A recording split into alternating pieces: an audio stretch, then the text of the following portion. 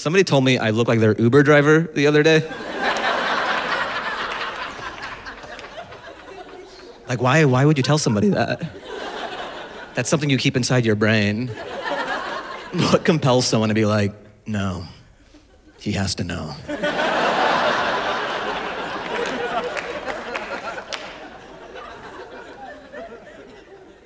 Everybody takes Uber and Lyft nowadays. I feel sorry for cab drivers. I bet they're trying to trick people, like, no, it is Uber.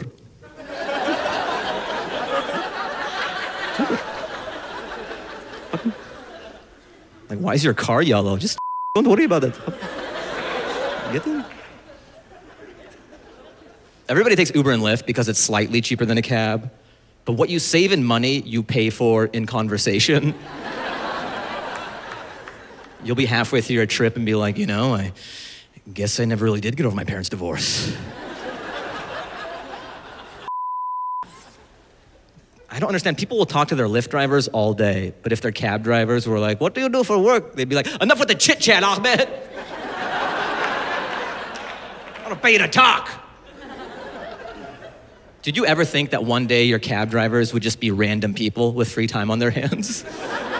Never. How do you not know that one day your house won't be on fire and some 21 year old kid with a smartphone will show up like, hey, what's up? I'm your firefighter.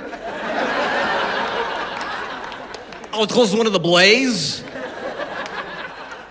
Don't worry, I brought a super soaker. Stand back.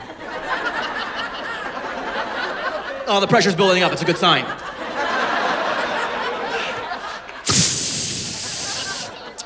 The fire's a lot bigger than I thought it would be. The problem with Uber and Lyft is that it's made getting into random cars so commonplace. Like you'll get into a truck, you'll get into an SUV, you'll get into a smart car. Like I could take my car tonight, just go to a bar at 2 a.m. Be like, hey, somebody get an Uber? Some drunk guy would be like, catch you guys later, it's here. hey, what's up, man? Take me. and I could just drive to the woods and murder this guy. He would just be in his phone the whole time.